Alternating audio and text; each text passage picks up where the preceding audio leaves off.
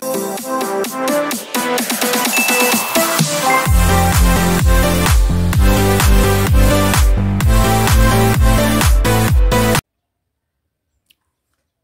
xin ờ, kính chào quý bà con anh em và các bạn đồng nghiệp ham mê nuôi ong trên miền Tổ quốc thân mến. Rất vui lại trở lại với kênh YouTube kỹ thuật nuôi ong Ninh Phương. Bây giờ là 10 giờ 30 ngày 31 tháng 12 2023 với một chủ đề video mới đó là chúng ta phải hong khô, chống ẩm ướt trong đàn ong mà khi nắng lên là việc làm rất cần thiết. Vâng.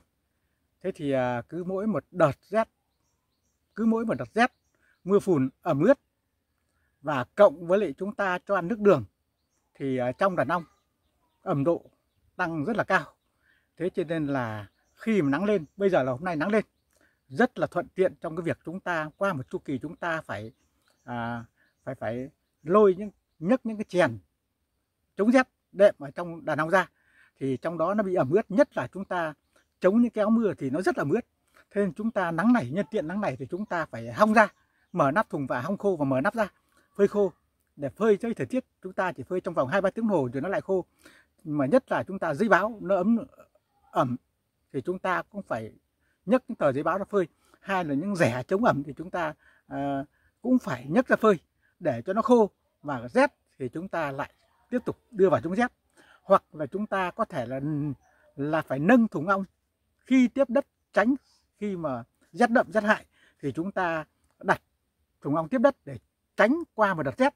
Thì nắng lên như ngày hôm nay, nắng lên ngày nay thì chúng ta kết hợp vừa là nâng thùng. Đây, từ từ lúc đấy từ mấy giờ đến giờ là tôi đã nâng hết cái trại một rồi. Trong vòng nửa tay nửa tiếng thôi tôi đang nâng hết rồi và đang nâng thì tôi nâng thì tôi dừng lại cái video. Và ta vừa nâng à, kê đưa lên bệ kê để là, là, là chống cái ẩm ướt và chúng ta phơi hong khô. Khi nắng ấm thì chúng ta lại nâng thùng lên. Hai nữa là chúng ta rút hết những cái mà chèn chống rét và hút ẩm. Và chống ẩm hôm nay là phải hong khô nhé. Thế thì à, cái mục đích của cái việc chúng ta phòng chống là hong khô để phòng chống cái bệnh ấu trùng chúng ta cần phòng bệnh cần hơn chữa bệnh. Thế nên chúng ta khi nắng lên thì nhất thiết chúng ta phải hong vào trong thùng ra để cho nó khô. Thế thì à, cái công việc làm của tôi từ mấy giờ từ nãy đến giờ là cũng nửa tiếng đồng hồ ở cái trại một rồi. Thế còn cái trại hai thì tí nữa thì tiếp tục vào. Và tôi đang làm cái trại một thì à, thì tôi làm cho dừng lại video để tôi chia sẻ với bà con là cái việc làm của, tôi từ lúc 10 giờ đến giờ. Bây giờ tôi mới làm được nửa tiếng. Thì tôi dừng lại video và tôi chỉ với quý bà con và chúng ta cùng bắt đầu xem tôi làm thế nào nhé. Vâng chúng ta cùng bắt đầu vâng đây, cái việc làm của tôi là tôi đã nâng hết thùng ong lên. Không tiếp đất nữa, bởi vì nắng ấm rồi. Qua một đợt chống rét và nắng ấm rồi thì tôi tiếp tục là tôi sẽ nâng những cái đàn ong lên, bệ, lên giá để cho khô ráo và chúng ta sẽ nhấc hết những cái lót ở trong thùng ra để phơi nắng nhé rồi chúng ta sẽ xem một cái đàn đầu tiên. Xem đàn đầu tiên này chúng ta, lúc nãy tôi đã nâng lên đây. Tôi lại tiếp tục nâng lên bệ hai con gạch chỉ nâng lên cái là xong thôi. Và những cái mà ừ, mà ni lông rót lót đệm để dưới tôi tôi hệ tiếp đất thì chúng tôi chúng sẽ treo lên hết cành cây rồi. Đây ạ, đây là cái đàn à, số à, đàn H6 mà tôi đã có đã nâng lên bệ, chúng ta xem trong thế nào nhé đây là cái đàn một cầu. Tôi chia từ cái đàn ba cầu ra đây một cầu để ta xem cái đàn một cầu. Ta vừa xem và ta vừa chống rét chống ẩm nhé đây ạ. Đây, tôi lật trở lại này. Tôi lật trở lại để tôi ta phơi nắng ra nhé phơi nắng. Và nhất là chống rét bằng cái áo mưa thế này nó rất là mướt thì ờ, đây, ta rũ là nó có nước đấy ta rũ nước đi nhé và phơi lên cành cây. Phơi bây giờ đang nắng là ta phơi phơi lên. Ta treo phơi lên cành cây để cho nó hong khô đi nhá. Thì rét ta lại chống rét. Đây ạ. Những cái này rút ra đấy ạ. Đây ạ. Tất cả những cái mảnh vải này ta cũng treo lên nhá. Ta cũng treo lên cành cây thế này để cho khô nhá đấy, cũng nhanh thôi ạ. Thế còn nước đường chúng ta cho ăn, mà nó còn nó đang ăn thì ta sẽ lộn ngược lên nhá. Ta lộn ngược lên này. Lộn ngược lên thì tối ta lại đặt xuống. Ta lộn ngược lên, ta không cho ăn nữa. Thì ta xem có đàn một cầu nó như thế nào nhé đây đây đây là đàn một cầu, người tôi chia một chú nó đẻ rồi, chúng ta kiểm tra một đàn một cầu nhá.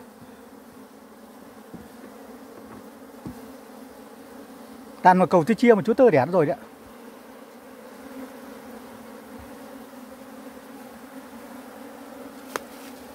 Đây là đàn một cầu của tôi chúa tơ đẻ rồi nhá. Rất là đẹp. Chúng ta phải cho ăn nước đường thế này mới bảo vệ được đàn mới, mới bảo vệ được đàn ong nhá. Đấy. Mặt thứ hai đấy. Đàn một cầu đấy. Một cầu chúa tơ đẻ rồi nhá.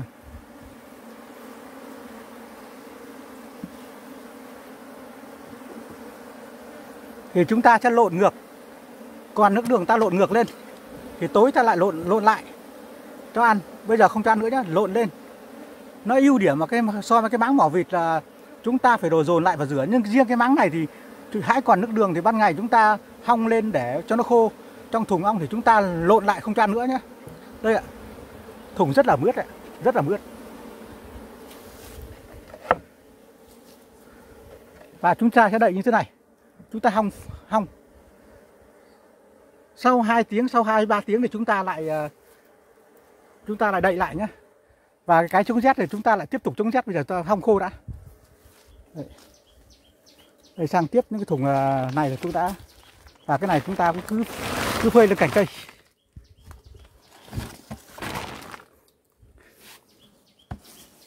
Đây, ta xem mức độ ẩm ướt trong thùng đấy rất ẩm ướt đấy hôm nay nắng là chúng ta phải hong hết rồi đây, nước đấy nước đấy ta treo lên cành cây.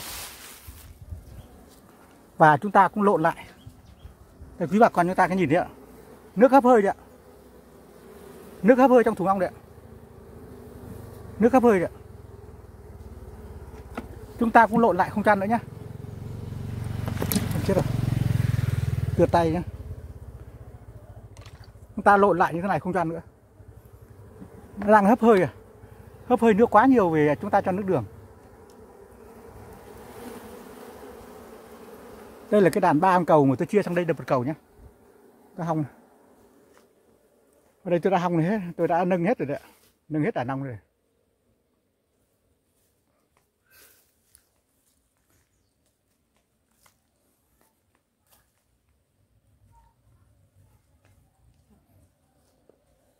Đây, cái đàn này tôi cũng đang mở hong đấy đây, vừa hong lúc nãy giờ nó cũng giáo giáo rồi nhá. Đấy, hong nó cũng giáo rồi đấy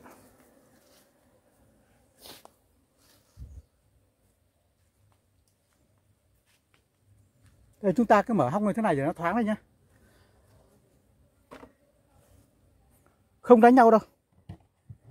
Hôm nay nắng này đấy. Chúng ta không mở nắp ra cho nó khô ráo. Và cái nước đường ta cũng độn lại không gian nữa. Lộn lại còn thừa nước đường lộn lại không gian nữa nhé đây là cái đàn à, bốn cầu mình chia đôi vừa song song với đàn hai cầu đấy đàn chúng ta nâng lên hết rồi.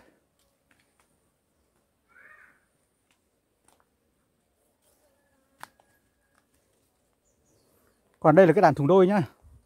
Thùng đôi thì à, là đàn chủ công mà tôi xây ba cầu, tôi đã rút đi hai rồi. Đây. Đây rất là ẩm ướt đấy. chúng ta sẽ đặt ra phơi. Chúng ta phơi nắng này cho nó khô cái nắp này nhá. Đây ạ. Đàn thủ đôi ạ. Nó riêng quanh nó đang bị ẩm ướt, mốc đây. Chúng ta phải phơi nắng rồi nhá hôm nay nắng là chúng ta hong để phơi. Rút hết những cái lót đệm ra. Đây như cái đàn này cũng thế nhá. Đàn này cũng thế rút hết lót đệm nó kia phơi rồi. Và chúng ta nhấc ra nhé phơi.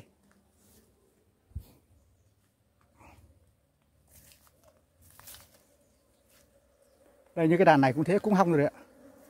Tôi hỏng từ nãy giờ đã khô thế này rồi đấy nó khô thế này rồi thì là tăng, ta lại đây lại và chúng ta nếu rét thì chúng ta hãy lót nhé và không không rét thì thôi. Đây tiếp đến cái đàn này đàn thùng đôi đây. Đàn thùng đôi là, là cũng đàn là mỗi bên ba cầu.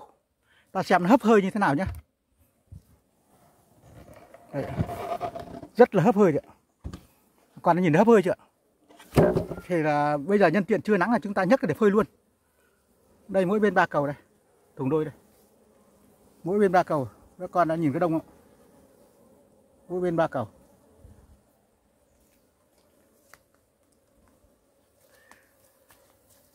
Đây cái thùng này thì chưa nhấc tôi, tôi sẽ nhấc lên nhé.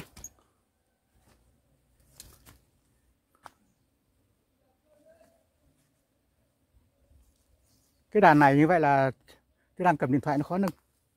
Tôi sẽ nâng thế này nhá.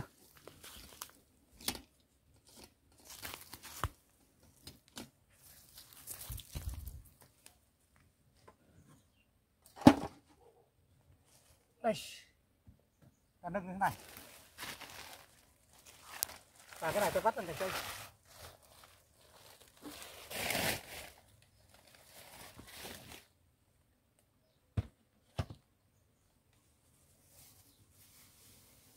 Ta cũng hăm khô chứ.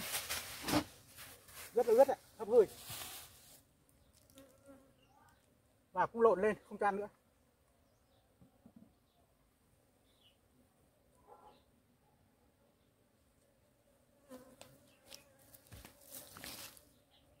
Cái đàn nào ta cũng thế, đưa lên bệ và hong khô.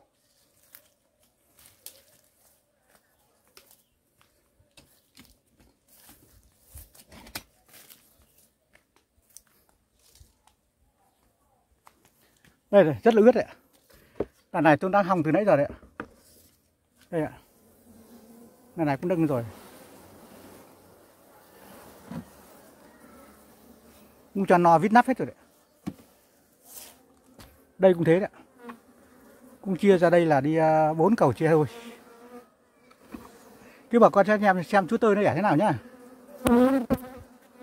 Đàn chia đôi hai cầu chú tư đẻ đấy rồi đấy chú tư đã đẻ và xây cầu mới rồi đấy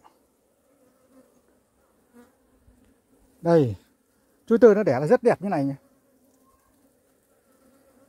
Đàn là hai cầu thì nắng ấm này tôi tiếp tục cho xây lên một cầu nữa là ba nhé hôm nay nắng ấm hong thùng ra, hong ờ, hong chống rét ra, như nếu như rét ta không trông, không không không đưa chèn vào nữa nhá. Đây ở ướt này chúng ta phải phơi khô này. Đây ạ. Rất là ướt đấy, chúng ta hong hết ra.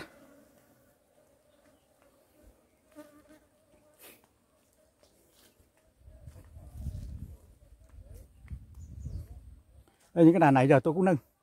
Ờ, Rồi tôi tiếp tục những nâng này nhưng mà tay đang vướng được điện thoại thì uh, tôi sẽ nâng sau tí. Nâng và chúng ta hong khô và không chèn nữa. Cái nắng ấm này chúng ta không phải chống rét không phải chèn nhé.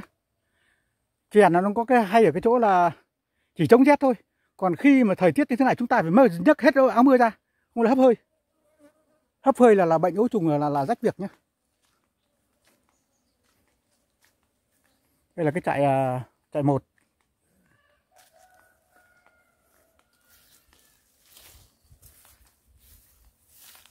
Đây tôi đã nâng hết bệ rồi đấy nâng hết bệ rồi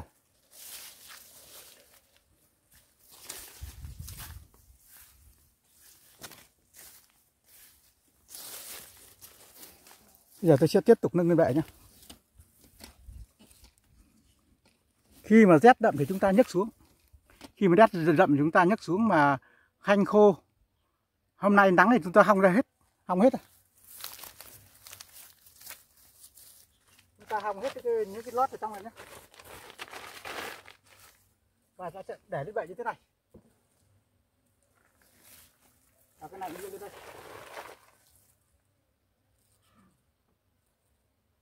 Đây cũng đàn bốn cầu là chia đôi kìa ạ. Đàn bốn cầu chia đôi.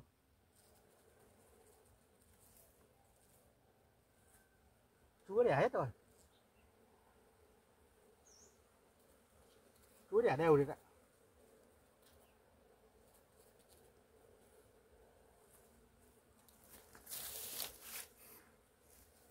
Và sang cái đàn bên kia ta cũng cũng nâng lên nhé.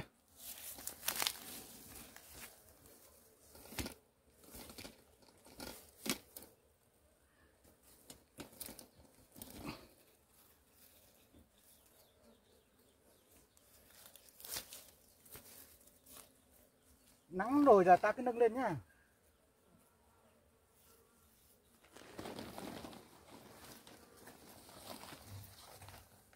Khi ta đặt cái kiến nó nó nó, nó tủ trên là nó nó nó chống ờ, nó cũng tránh rét là nằm dưới không phải đỡ lên thùng ong nhá.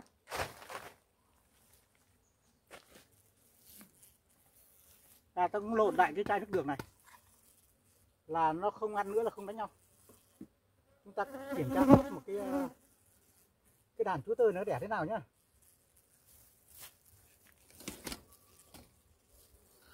Đây là cũng cái đàn bốn cầu mà tôi chia sang. Mỗi đàn hai cầu vào chúa tơ thay hết để chúng ta xem còn chúa tơ nó đẻ như thế nào nhé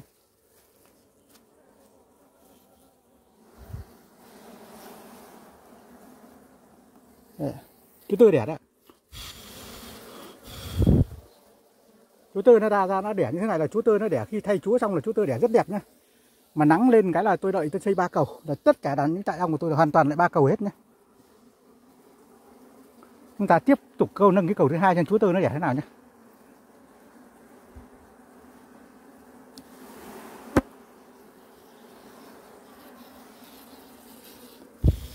Này chú tư đẻ rất đẹp đấy chú tư đấy và chúng là chúng ta chỉ cần vít nắp cái này nhé. Đây là việc làm của sáng nay của tôi là hong thùng ong để cho không bị chống ẩm ướt. Nhấc hết cái lót ở trong đài ong ra. Khi mà gặp nắng lên, qua một chu kỳ mà chúng ta chống rét cho nước đường nó bị ẩm ướt thì chúng ta phải hong khô. Đây từ nãy giờ đã khô rồi đấy nó đã khô rồi đấy khô rồi. Nếu như thời tiết mà ấm áp thì chúng ta vứt hết ra ngoài, không chống nữa nhá. Chống vào nó có cái hay là chống gió rét, chống rét trong nhưng mà nó nguy hại là sẽ bị ẩm ướt là đàn ong sẽ bị thối ấu trùng, chúng ta phải nhấc ra nhé chúng ta dừng lại video là kết luận nhau thời gian kéo dài nhé. Vâng như vậy là cái nội dung chủ đề của buổi sáng ngày hôm nay chia sẻ với bà con chúng ta đã nắm được rồi. Thế là mỗi một khi nắng lên chúng ta phải tận dụng bây giờ lại đang nắng này. Nắng lên chúng ta phải tận dụng phải khẩn trương phơi những cái chống ẩm chống rét ở trong thùng ong ra để cho nó khô và mở nắp ra để hong khô và tiếp đất thì phải nâng lên như tôi nói rồi. Để chống ẩm ướt à, thì để phòng bệnh ấu trùng phòng bệnh thối trùng. Ấu trùng từ khi nào ẩm ướt ở trong thùng ong mà bị tăng cao thì sẽ bị bệnh ấu trùng nên chúng ta phải cảnh giác và phải chống. Mỗi khi nắng lên thì chúng ta phải đưa hết đệm lót ra ngoài phơi và chúng ta ấm thì chúng ta không chống rét nữa. À, thế cho nên là có cái chống rét nó cũng có cái lợi và cũng có cái hại. Đấy, thế cho nên là cái việc đàn ong cho ăn no là cái việc đầu tiên là phải cho no. Còn cái việc chống rét chỉ là phụ khi rét lắm người ta chống rét. Còn hoàn toàn là do con ong nó điều tiết khi ăn no nó tự chống rét lấy nó bảo tự bảo vệ lấy. Đấy thế cho nên là là còn cái thời gian mà tiết nắng ấm như thế này thì uh, trong những người mà chưa đàn ong cuối vụ thì rất có cơ hội để những đàn ong mà chúng ta chưa cuối vụ và thay chúa trong cái đợt này là đợt cuối cùng. Nên là tranh thủ thì nó uh, thời tiết này là rất đẹp trong cái việc những người chưa đàn muộn thay chúa muộn thì chúng ta uh, sẽ kiểm tra và uh, cho nó thành công nhé. Vâng video này hết. Quý bà con chúng ta uh, theo dõi uh, xin cảm ơn. Và video này hết. Uh, ai thấy hay chia sẻ đăng ký kênh và bình luận phía dưới nhé. Vâng xin chào.